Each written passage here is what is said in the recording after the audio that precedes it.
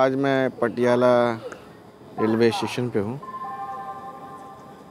Patiala railway station पे। लेकिन मुझे यहाँ आने का मौका नहीं मिल पाया।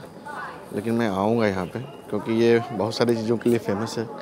एक तो सबसे बड़ी चीज़ पटियाली, पटिया, सूट जो है लेडीज़ सूट ये यहाँ पे बहुत फ़ेमस है। मैं यहाँ से ख़रीदूँगा और मौका मिला है अभी तो और आपके पटियाली चिकन भी है, जिसको अंडे ऑमलेट से गार्निशिंग करते हैं चिकन बनाकर। ब्राउन बिल्कुल डार्क ब्राउन ग्रेवी होता है।